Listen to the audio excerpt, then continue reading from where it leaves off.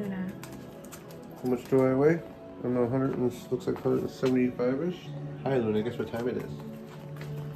What is that She's device? like, I'm walking away from you now. Come on, babes.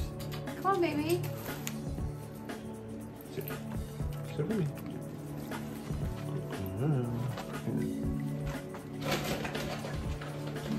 She just thinks, she probably thinks you're taking it back on. You know what, Tree? What you doing? Sus. yeah, I'd be sus. I'd be sus for me too. Uh, oh, Luna, come here. It's a treat. Baby, come here. Come here. Oh my god. This is actually really cute. Can you sit down for me? she yoinked and took off. She a mind reader right now. Luna, this isn't bad. This This is is not even a bad thing. this is adorable. Luna, where'd you go? Come here. Come on. Come on out. Come here.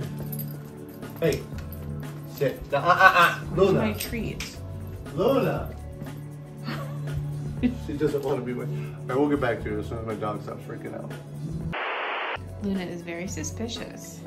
We just want to pick her up so we can weigh her. It's not even a big deal, Luna. Here. What do you want me to like? One, two, How heavy does she feel? Well, I bet she's about 60 pounds. Okay. She did not want this to happen. Let's see. You're at about 230. Wait, get off my head. You're putting weight on my head. Yeah, it's about 231. 231. Okay. So math that. That's. We're in central Minnesota. Was a torta cubana with fries. I don't know how I'm gonna eat this. We spoiled ourselves a little bit today. More carbs than I eat in a week in this box. Right? Look at torta cubana. And Luna got a bully stick. Our little pond looks like just a very large puddle right now. I assume there's nothing living in here. I think it freezes solid. But I expect maybe frogs? We've already started to hear frogs. we just gonna stand here? Apparently. She found her little horn. Say, but just because.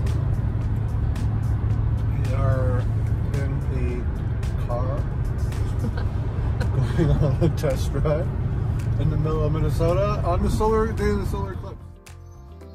What? It's the shirt for me. I don't care about the shirt.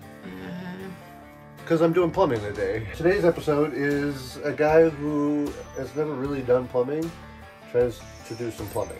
So let me show you what's going on in here. This is uh, the back room that we've all been in before, and trust me, I know that when we make a video about this, nobody watches it.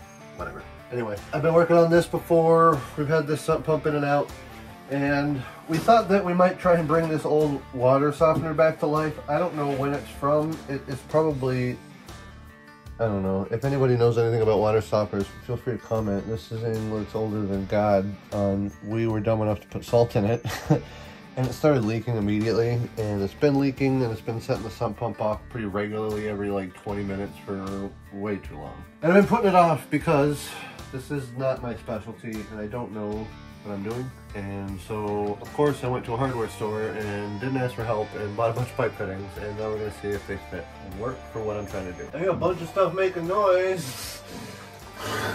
I got all the water off, so this is just slightly terrifying. Oh, What's is there something draining out of there? No. No, it's like air bubbles basically. The heck? Air bubbles. There's not much maneuverability with this thing. All kinds of things happening All here. kinds of things make making noise, man. There's not much water leaking on the ground. Until now. No, I know. what is that? I mean, if I start freaking out, I'll start screwing it back in, but so far... Oh my god, the sounds that this thing is making. It's not even leaking anymore. It's making me nervous for sure, but I know nothing about what's going on right now. Well, the line that makes me nervous is this line, because there's no shut-off for it. And it's the feed for everything.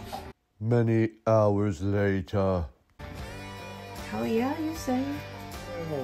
So we waited all day for this to pull us off of here because I was afraid that it was hot water really spewing out of there. All that noise that we heard in there was just it was like filling full of air. Luckily, there was there was very minimal spillage in here. We're gonna screw it back into this manifold. Yeah. And then we're gonna save up our nickels until we can afford a new one. It is a gorgeous day, and we decided to come to Lowe's and start our project. Time to start gardening now that the snow's finally melting and everything. And we have a bunch of free pallets that I'm going to use for the fence material, but we still need like fence posts. And we don't have any seed, so we're going to start our seed bank. We don't have everything we want, but everything's so expensive here. Uh-huh. Just gonna get started a little bit. Topsoil, topsoil. There's so many different kinds. Cow manure and compost. I'm gonna keep looking down here. Hold on. It's the start of my gardening empire. I can't wait to get it all built soon.